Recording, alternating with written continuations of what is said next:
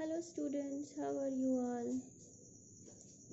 Today we will study Geography of class 7, chapter number 2 Inside Our Earth. Today is the third session of chapter Inside Our Earth. First two sessions we have already done. You can go through it on my YouTube channel.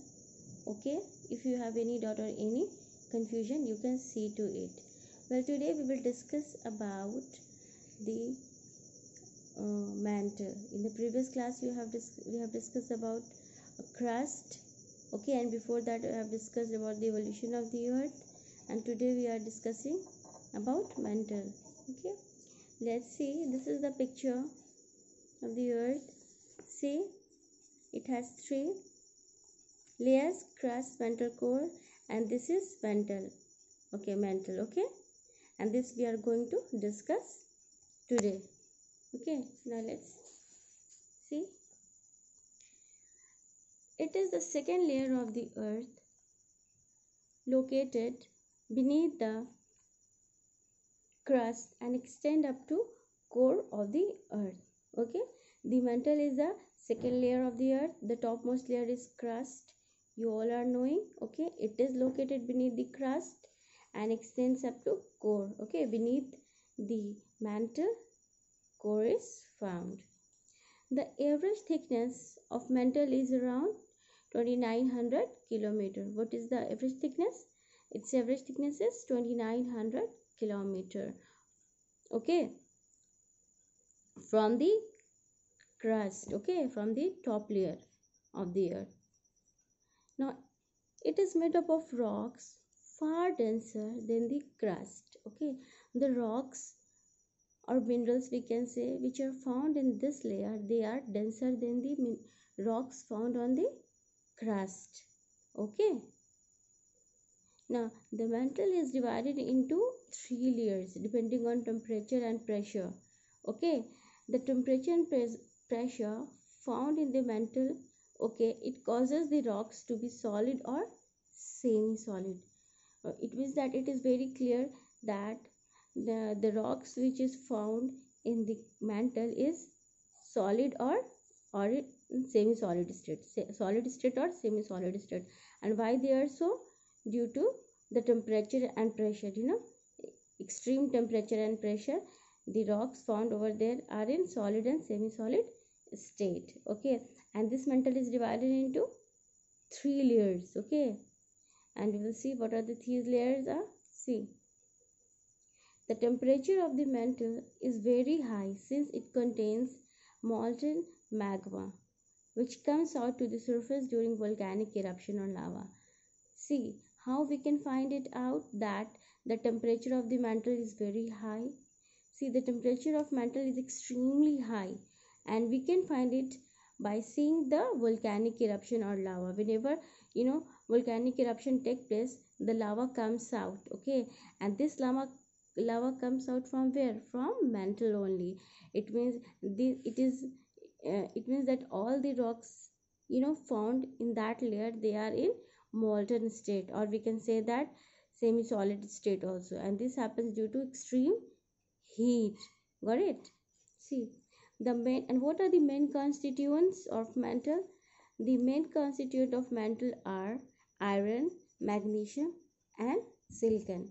You know in crust what were the minerals uh, uh, found? In crust you know uh, silica magnesium and uh, aluminum were found na? Sima and Sial basically. Okay?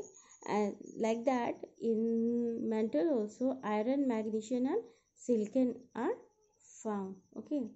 Now this mantle is divided into three layers. I have, I have discussed earlier uh, above okay? The uppermost mantle see here? It is a picture of the interior of the earth. Here we can say that this is mantle uh, from upper mantle to lower mantle see the uh, thickness of upper mantle is up to 100 kilometer up to 100 kilometer or somewhere it is 75 kilometer also from the crust okay? Later on the second layer came second layer know middle mantle. This middle mantle is also known as asthenosphere. See asthenos. Asthenos is a greek word which means flow state which means flow state okay? Why flow state? Because all the rocks or minerals found in the state they are in flowing state you know they are in molten state. That is why they all flow. That is why it is known as asthenosphere. And what is the thickness of asthenosphere? It is up to 300 kilometer. Up to how much? 300 kilometer from the crust. And then after what came? Lower mantle. Okay? The height of you know the thickness of lower mantle is 2900 kilometer from the crust from the crust okay? But in this lower mantle the rocks which are present they are in solid state okay? It is very strange to you know uh, find that the rocks found here is in solid state. In the upper mantle and in the asthenosphere they both are in uh, uh, semi semi solid state or you know or in flowing state but in lower mantle they are found in solid state. Why?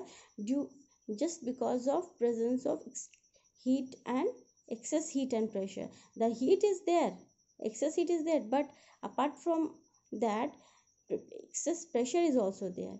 That is why in presence of excess heat and pressure they get converted into solid. Okay that is why all these rocks found over here is in solid state. Okay so this here. So we have seen the three layer of mantle. Okay and what are their composition? Okay and what are their thickness? Okay. So in another session we will see the core. Okay we will discuss core in detail. Till then there i would like to share some points with you. Okay see here are some important points for you to know. The deepest mine in the world is in south africa. Where it is the deepest mine is where situated? It is found in south africa. And what is the depth of it? It is 4 kilometer. How much it is? 4 kilometer deep in search for oil. Engineers have dug a hole about 6 kilometer deep. You how they come people come to find find it out that the deepest mine is found in africa you know you know engineers were such were in search of oil you know and regarding that they dug a hole and they dug up to a depth of 6 kilometer okay in order to get the get the oil so the deepest mine is about 6 kilometer deep. Now the another interesting fact is to reach to the center of the earth is which is not possible you will have to dig a hole 6000 kilometer deep on the ocean floor. Okay? It means that the depth of you know center of the core or we can say the huh, center of the core or the center of the earth we can say we have to dig, dig a hole of around 6000 kilometers such a you know deep we have to dig okay? Then only we can get the ocean floor okay? So these are some interesting facts. Well till then student you go through the uh, uh, chapter go through my videos okay? In next class we will discuss uh, um, further matter we will discuss core and some more material. We will discuss. Till then bye and have a good day